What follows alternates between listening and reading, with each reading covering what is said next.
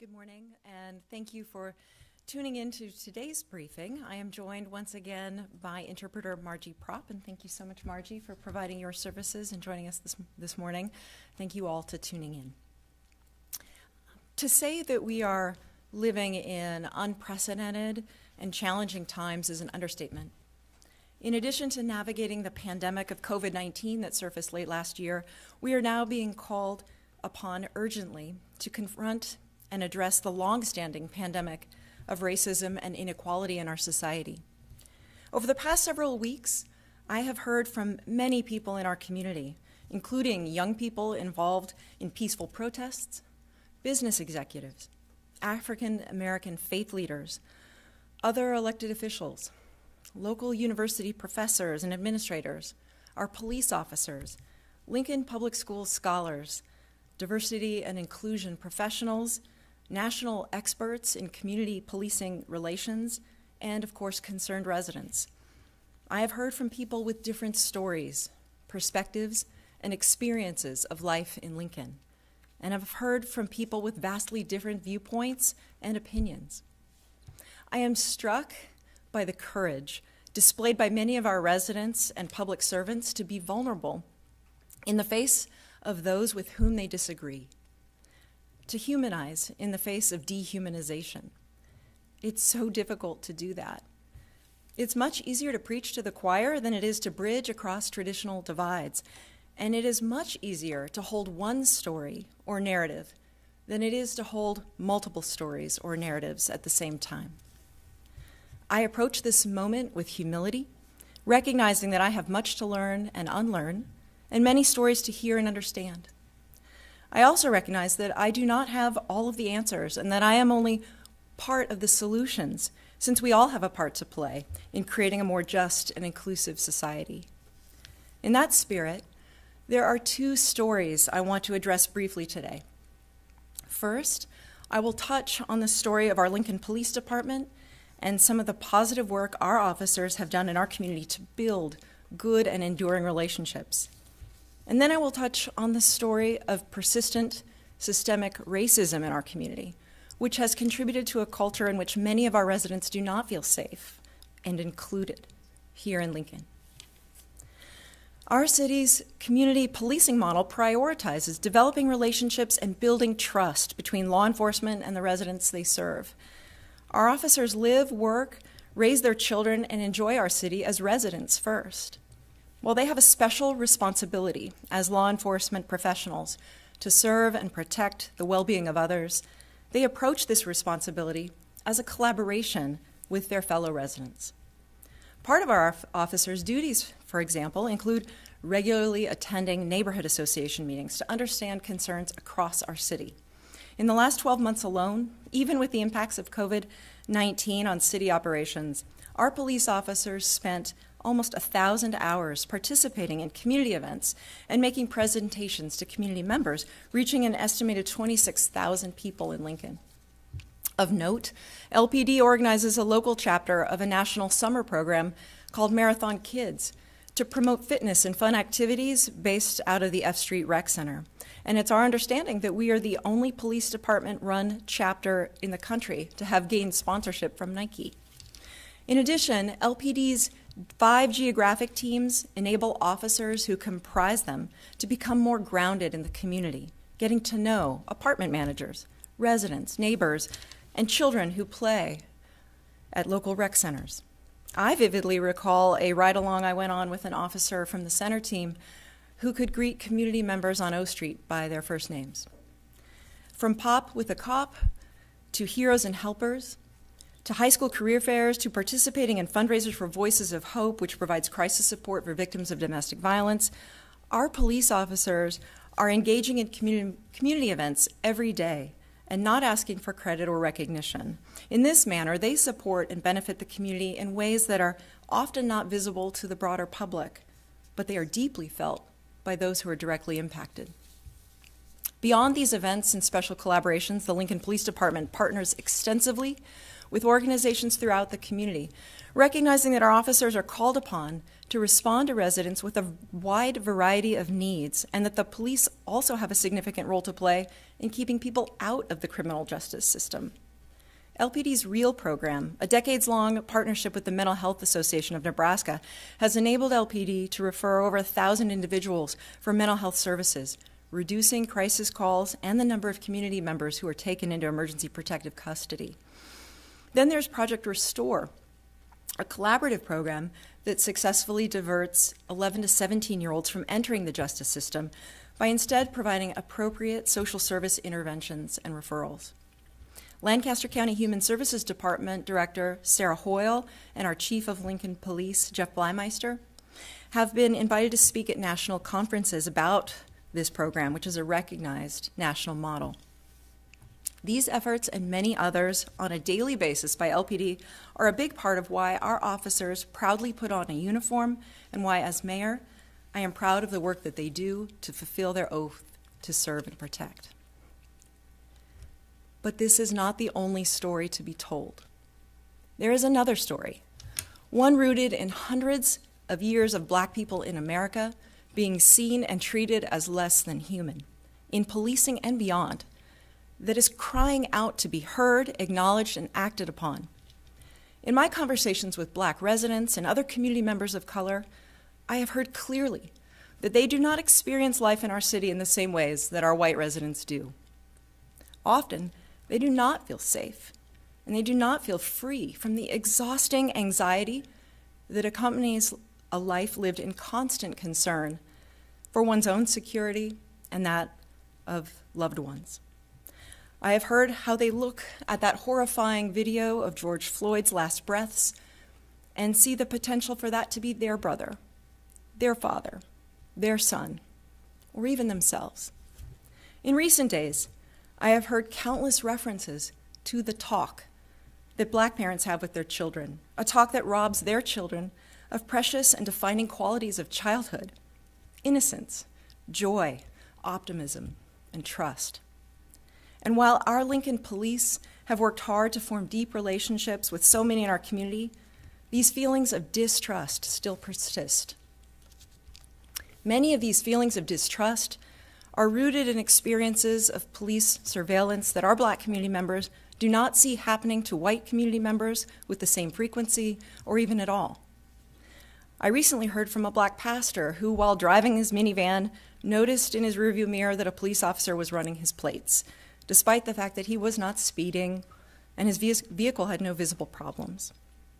I also heard from a black undergraduate about the time he was walking home from class at dusk and was approached and asked where he was headed, not once but twice, by two different police officers.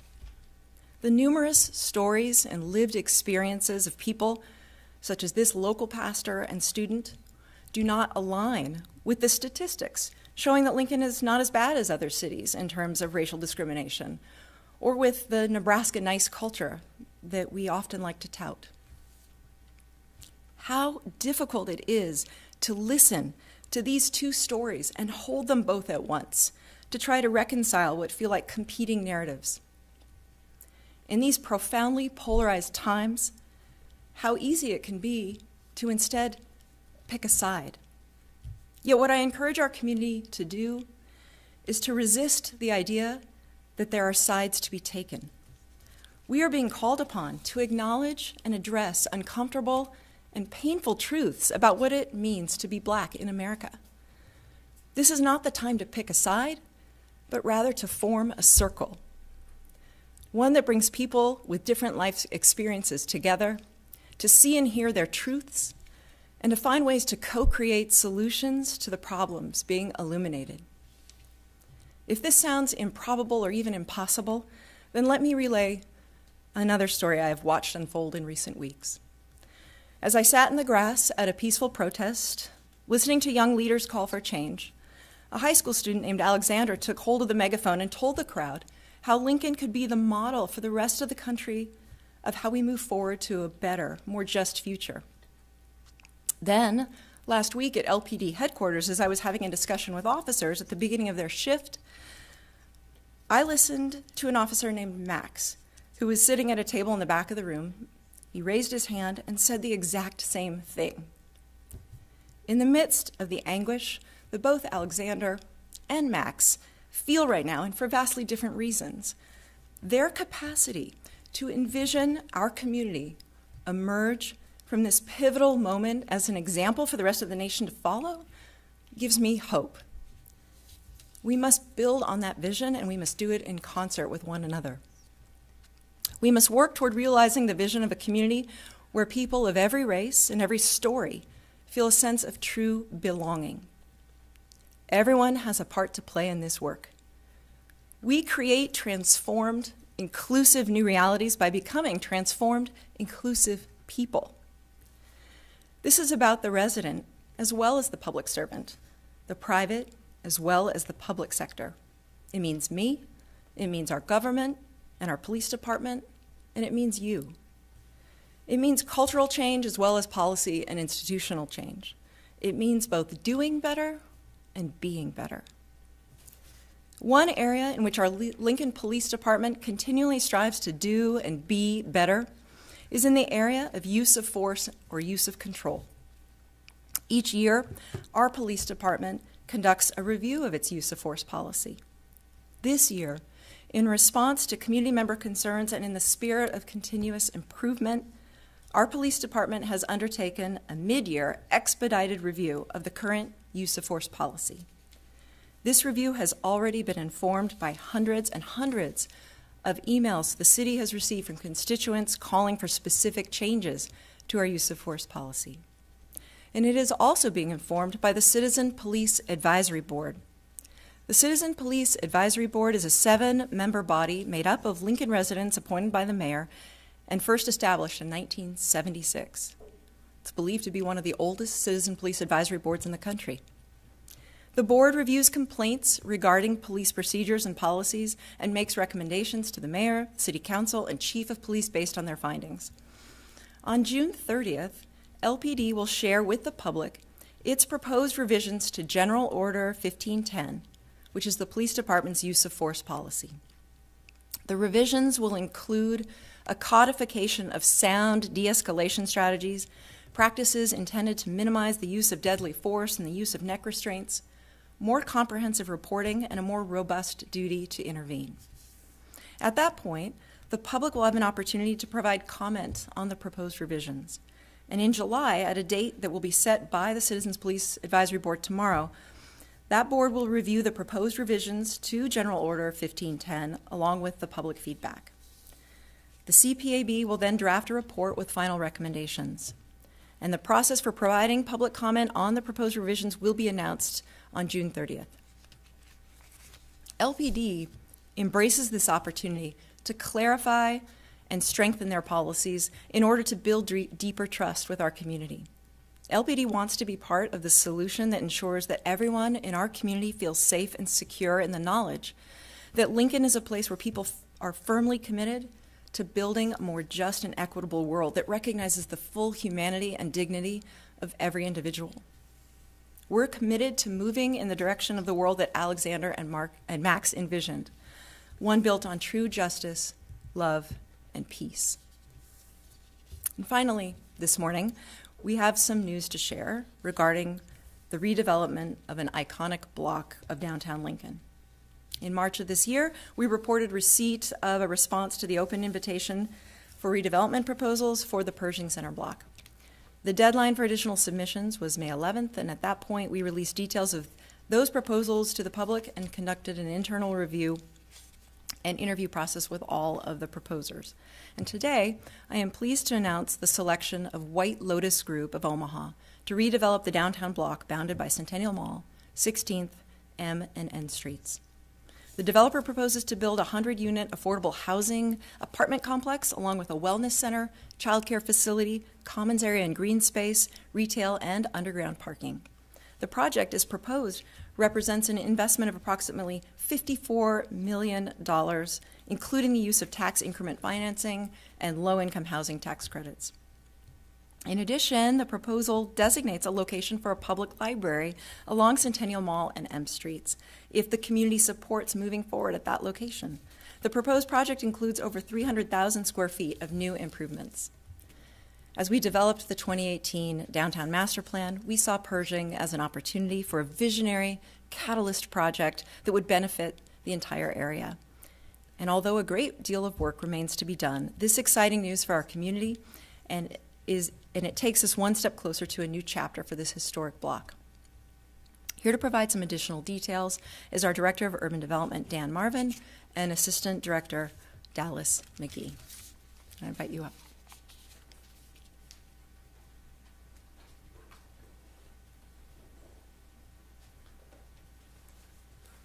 Thank you, Mayor. Um, I always tell people my fondest memory or first time I ever went to Pershing was when I went to a Bachman Turner Overdrive concert and I was 15 years old. Um, so I have a lot of fond memories, and I think that it's great that we're getting this property repurposed. Um, with me today is Dallas McGee. I think he'll go through some of the history of what has happened since probably roughly about 2010 when we undertook the building of the uh, Pinnacle Bank Arena.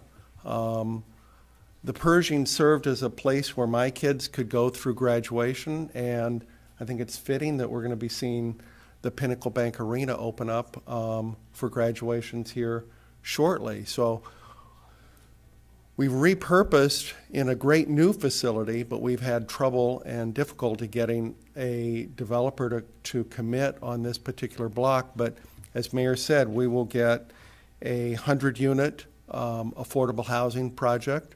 We'll get a wellness center built in that area, uh, child care facilities, a coffee shop, and an, a vision of really trying to create activity over on really an iconic street, um, Centennial Mall. So uh, we're expecting that this will be a, a fantastic development. The process that we used for this was we got a response to an IFRP that was on our website.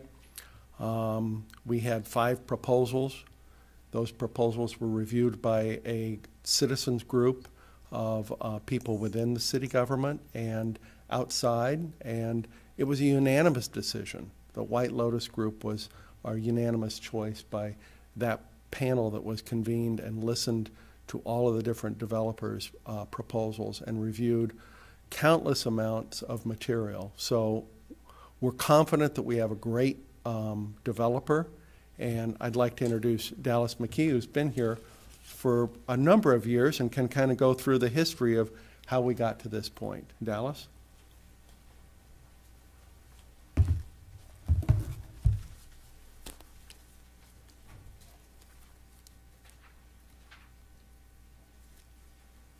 Thank you, Dan. Um, we all have history with Pershing, and we all have personal stories going back many, many years. I too have have gone to numerous events in Pershing Auditorium, and we've talked about reusing Pershing for a long time.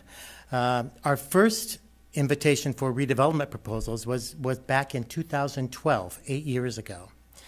We issued an a uh, RF IFRP and received three proposals. The proposals were evaluated by a selection committee, and the recommendation was at that time to not proceed with those proposals because they didn't capture the vision, the potential that, that we felt this block deserves. So over the years, we've seen other uh, other proposals come in, other people talk to us about various ideas, and in 2018, I brought uh, the downtown master plan, which the mayor referred to, and which we use on just about every decision, large and small, with respect to downtown. This master plan identified several catalyst projects for downtown, projects that would make other things happen. And the first of those was the redevelopment of Pershing. It identified five potential uses and said we should actively look to pursue what would be realistic in terms of redeveloping this, this iconic property. Um, as the mayor said, we received uh, five proposals. They were very good proposals. We selected, we recommended to the mayor uh, White Lotus.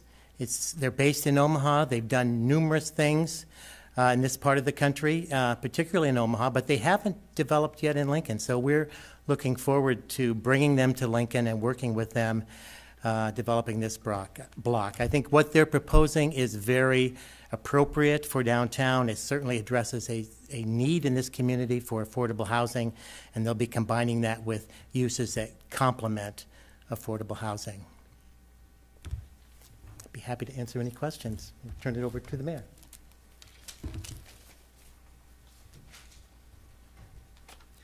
Thank you, Dallas and Dan. And yes, with that, we would like to open things up for questions from the media.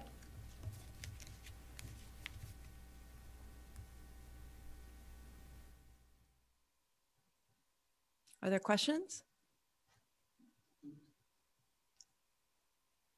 You're having trouble unmuting, I think. You can also contact Diane Gonzolas if you're having trouble. All right. Can, can you hear me, Mayor? Yes. Uh, Bill Kelly from NET, Are, with the Police Advisory Board, are there recommendations you're putting forward uh, from what you've heard from citizens? The policy revisions are informed by I, hundreds and hundreds of uh, recommendations coming from constituents. So yes, there has been that taken into consideration. It's also, you know, LPD's intent to clarify policies that exist already and best practices that we can, you know, codify in order to provide the reassurance that LPD is very committed to ensuring the safety of all our residents. This, again, process is something they undertake every year, but we are expediting it and bringing a new um, set of community input to the process so that we can try to be as responsive and engaged and uh, provide meaningful uh, revisions to policy that update our current practices and, and clarify them and make them more robust. Clarify my question. Are there recommendations that, that you're specifically putting forward and feel that need consideration? I am involved in the process, and my team has been working with the chief and the police department uh, to examine the different um, specific policies that have been recommended. But this is, of course, an expertise in policing operations that needs to be reviewed um, by folks who are intimately familiar with the practices of the Lincoln Police Department. And we are all taking this very seriously. Um, it is a collaboration.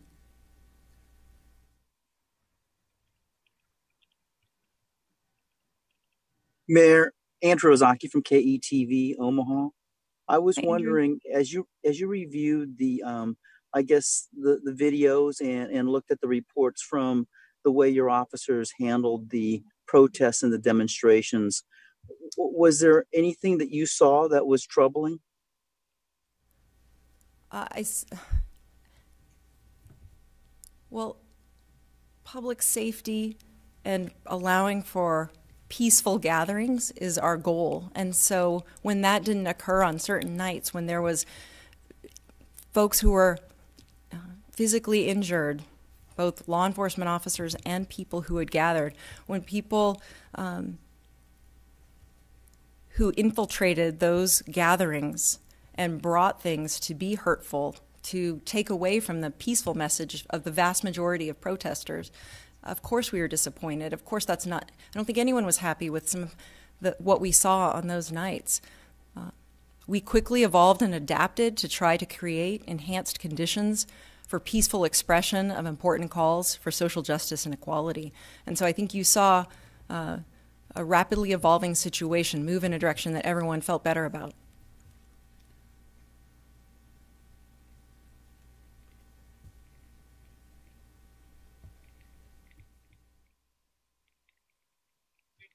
And as a follow up, I, I guess what about the use of, of rubber bullets uh, of of the um, I guess the dogs, which which seem to I guess uh, um, kind of reinforce some of the um, I guess the the the concerns that other citizens have about firing on the public. What one thing that I learned over the course of that week was how the mere presence of people in riot gear uh, could be taken as visual and visually antagonizing and to inflame tensions. And when we um, saw that happen, we saw people then also within those, you know, a small subset of people within those crowds antagonizing officers, and that led to confrontations that none of us foresaw or wanted. And um, that that was something we worked very hard to move away from because we want, I mean, LPD works with the public to try to facilitate gatherings and protests on a regular basis. And in this case, it was, um, you know, something that they'd never experienced before. The, the kind of destruction that we saw on uh, at the Easy Go and on Lincoln Mall, the unprecedented uh, expression of rage, uh, led to uh, our field force using practices that they haven't had to use in recent memory. And we've learned from those experiences and evolved. And I think that everyone feels a lot better about where we are today than where we were on some of those incredibly calamitous nights. Um, rubber bullets are meant to be a non lethal force, but as you can clearly see, they can cause harm, harm that none of us want to have happen. Um, the, the attempts to try to create safe conditions got better every night, and I am pleased that we are now in a position where people can gather and uh, with the support organizational support of the police department to allow for the free expression of their concerns. Um, that is where we always wanted to be. We have a question from Lori Pilger. On the police policy revisions coming, is anything being considered that would make the process of police disciplinary actions public? Uh, I'll, let the chief take that question because um, General Order 1510 is more about use of control or force techniques, but I'll let the police chief take that. Those are definitely part of the contemplations and discussions that are going forward, Lori. Um, currently, there are collective bargaining clauses that uh, are very explicit in nature. And while we do report publicly surmised data regarding use of control, regarding discipline, um, and there is publicly available um, information regarding the terminations, the most extreme type of circumstances, or resignation in lieu of termination that was based upon a uh, implementation in statute. All of those things are part of the discussion, and some of it exists today.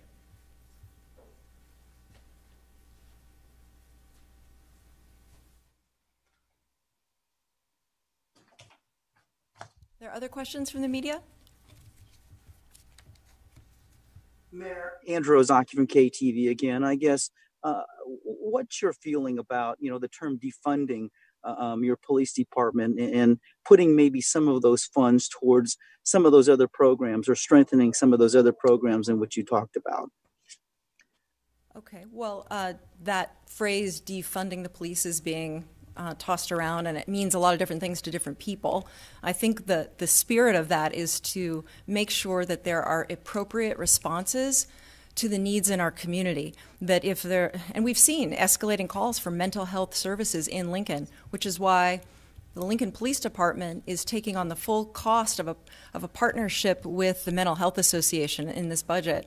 Um, they're doubling their financial support for that because they value that, that program. Uh, it's how they make sure that people who are experiencing mental health crises are referred appropriately to social service, uh, behavioral, and mental health service providers who can more appropriately care for them. The police don't want to take on that role. But today, the way things are structured, you know, when someone calls 911, they may very likely get a police response um, because that's who can be dispatched 24 hours, seven days a week. Um, so we will continue to look for ways to, to appropriately match calls for service with the services that accurately address them. Um, LPD wants that.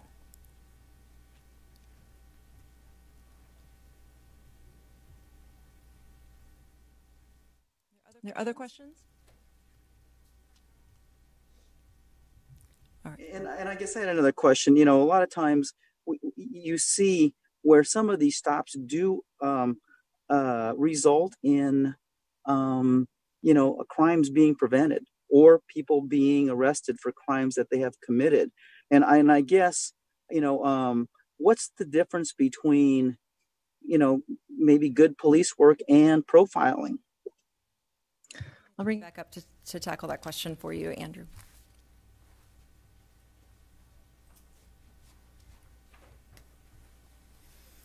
Andrew, good question, one that's been posed uh, many times prior to the uh, current events, and ones that you and I, I think, have personally discussed. And any action, any enforcement action that is taken explicitly based upon the race, the gender, the uh, sexual orientation, the religious affiliation is wrong. It's against the mission and values, and that is not an appropriate uh, tactic by any means. Uh, you're right. There are crimes that are prevented day in and day out based upon traffic stops that are being conducted by Lincoln police officers and law enforcement professionals across the country.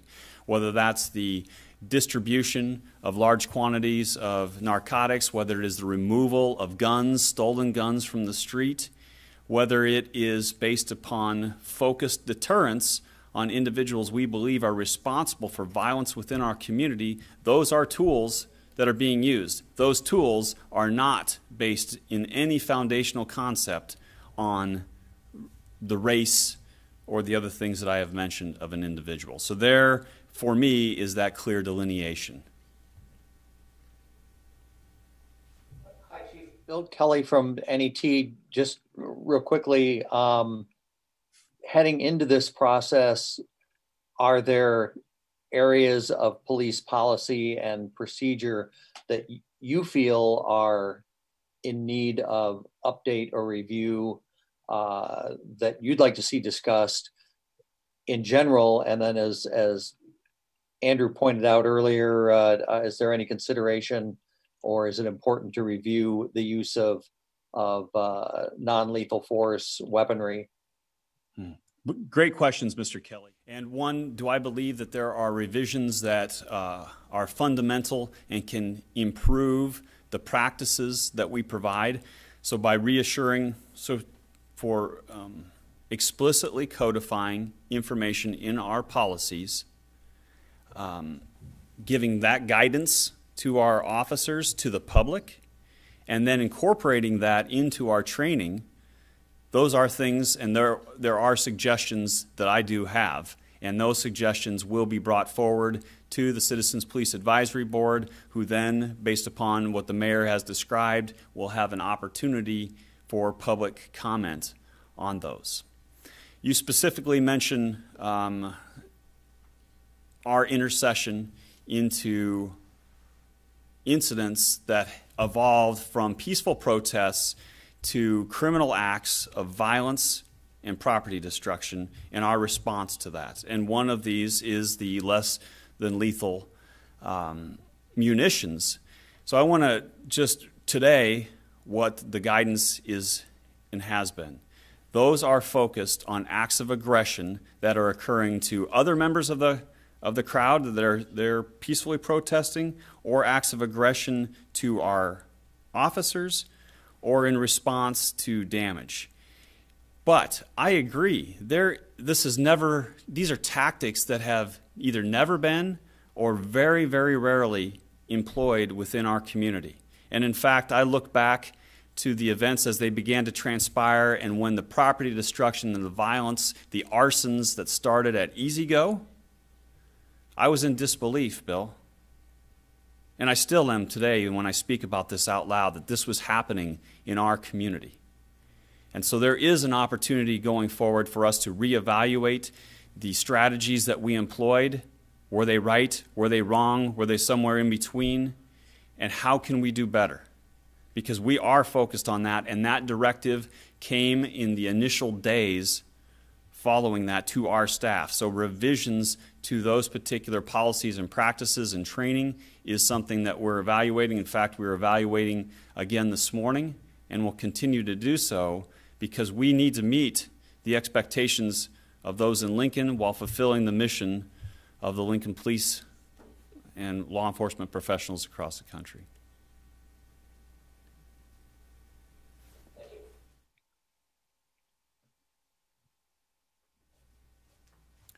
Any uh, remaining questions from the media?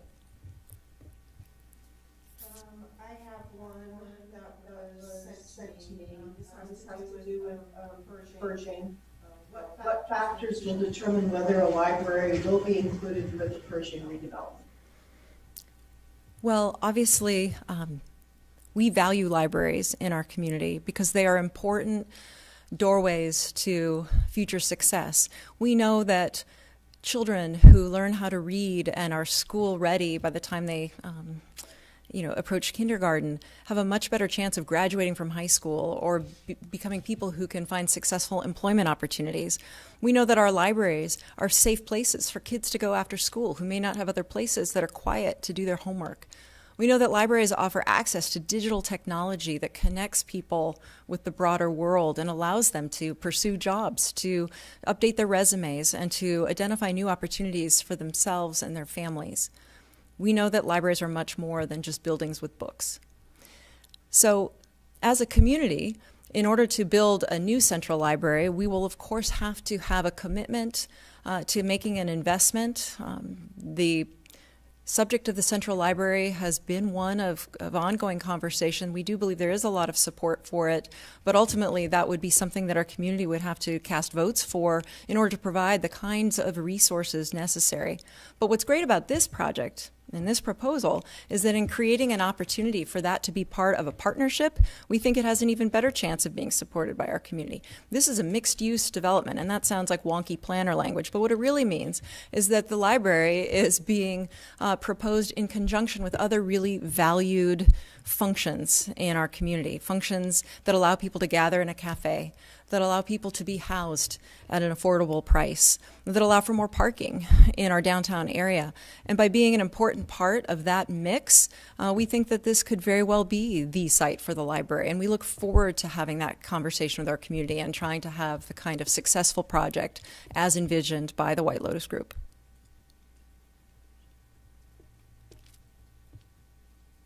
Any other questions? Yes. Mayor, yes. Andrew Ozaki from Channel 7 again. Uh, is, is there any consideration about possibly dropping any of the charges against some of the protesters, especially for curfew violations? And I guess on the other side of that, what would be, I guess, the argument about not to do that? I have publicly indicated that we are reviewing our options in terms of potentially providing pardons for those who were peacefully uh, protesting. We know that, uh, for instance, on the night, the second night of curfew, that you know there was an adult trying to get people home and away from Target who ended up being arrested. And perhaps that is something, uh, if that person wants to apply for a pardon, perhaps we should consider doing that. Um, the flip side, because there are, of course, different perspectives on this, it's not an easy subject, is that there were lots of folks who were abiding by the curfew. Um, but what we want to do is to be able to move forward. What we want to be able to do is to have the opportunity for all our community members to succeed. And if there are those who are being peaceful um, and were caught in the melee um, and now have a mark on their record that might hinder their future success, we are, we are looking at how we might be able to identify those individuals. It may not be easy to do that. I don't have an update for you on that subject, but since you asked the question, I'm doing my best to answer it.